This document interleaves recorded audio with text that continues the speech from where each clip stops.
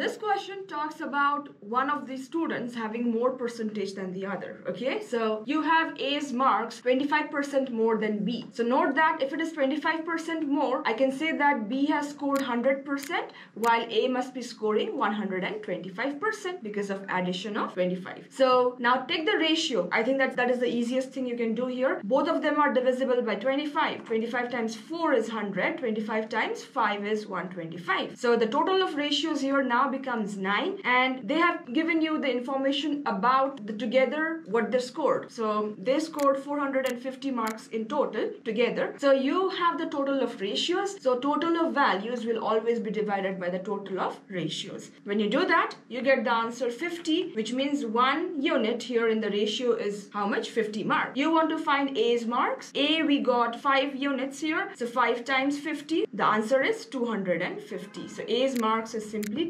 250. Very simple.